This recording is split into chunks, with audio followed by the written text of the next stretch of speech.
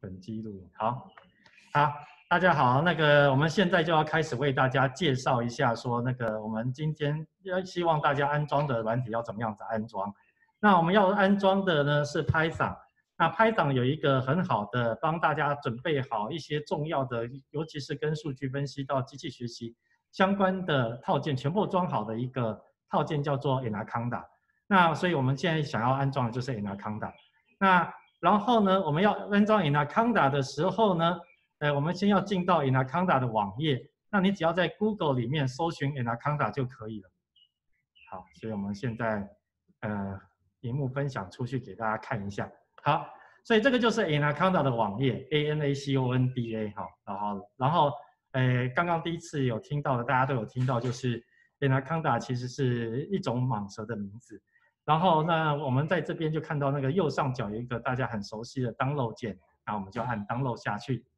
按下去了以后呢，它自己会侦测说你是什么系统，所以你是 Windows 或是 Mac 或是 Linux，它应该这边就会是相对应的平台的系统。那万一侦测错了，当然就是勇敢的自己去按你自己想要 download 的系统就好了。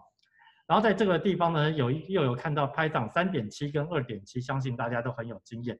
要当然是要新的，就是三点七版，就是这样。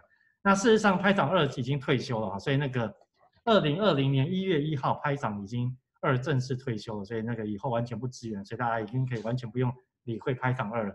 所以我们就是安装那个呃，download 安装那个拍档三的版本。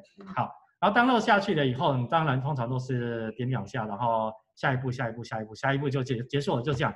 所以我们安装不这个过程不会特别的再一次。展示给大家看，那重那重点是什么呢？重点就是说呢，我们现在呢，我们现在呢，如果说那个，呃，等一下，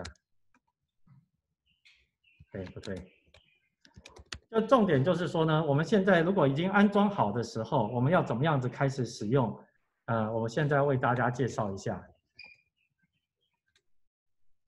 好，那首先呢，首先呢，我们先要切换一下画面，就是我今天需要在我的电脑里面找到终端机。那相信很多资科系的同学应该已经很熟悉了。那从来没有开过资终端机的同学不用担心，反正就去找终端机。然后在 Windows 下呢，平常是叫命令提示资源啊，但是因为命令提示资源有一些地方没有特别设好，所以我们需要用到的东西叫做 Anaconda Prompt。那如果大家有打开字幕的话呢，我就打给大家看那个字眼。好，啊，大家也可以顺便试一下，我们这个旁边的对话是可以对话的，所以如果你有什么问题的话，你也可以在旁边打字，然后那个万一我没有看到的话，那个助教助教会那个告提提醒我一下。好，那像刚刚有同学私讯给我，这为什么需要私讯呢？就是呃。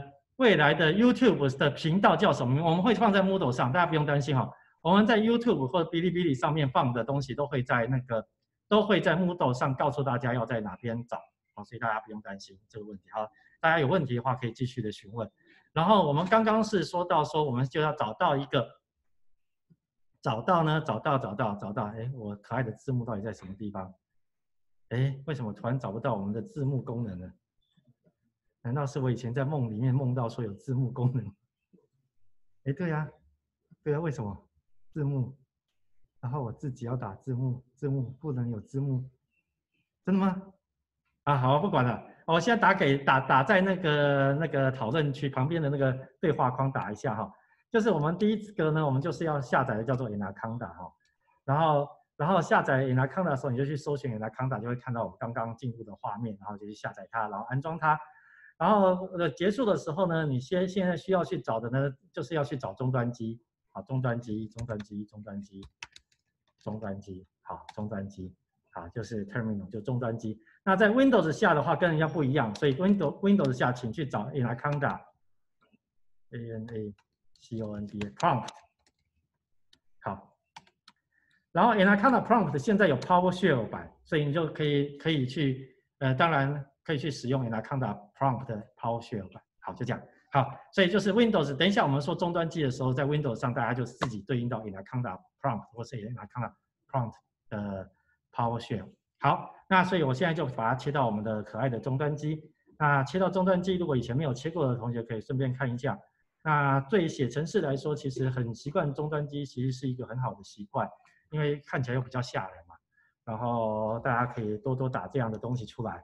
那我们呢？我们呃，首先呢，就是在拍掌呢，就是你自己要在自己要在某一个地方，就是你未来的城市想要先存在这个地方，你自己要找一个地方把城市做一个资料夹，把它建好这一个资料夹。好，建好了一个资料夹之后呢，你就要用 CD 哦，就是这个其实 CD 的动作就好像是我们在桌面上对一个资料夹点两下一样，就进入那个资料夹。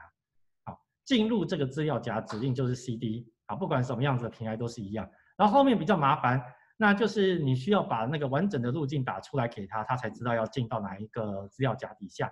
可是问题是呢，问题是什么呢？问题就是呢，问题就是说呢，这边有一点点小麻烦的事情呢，就是说我今天要进去这个资目录，我可能不会打这个路径，除非我平常就是很习惯用这个呃那个终端机去做事情的。那那如果不知道怎么样打路径的话，你就先找到在桌面上找到你自己的，想办法用各种的方式，相信大家会啊，找到你自己存档案的资料夹，然后呢就勇敢的把它拉到这个终端机，拉到这个终端机之后放手，它路径就会出现哦。那因为因为那个 Zoom 其实没有办法为大家示范这件事情，所以我现在用最愚蠢的那个自己打的方法把它打出来，好。好，那假设呢，我今天今天在我自己的桌面上建了一个资料夹，叫做 Python。那那个我现在就 change directory，就是把它呃，就是改到就就点进去这个中，点点进去这个资料夹。然后点完了这个资料夹之后呢，我就开始打 Jupyter Notebook，这个最重要的一件动。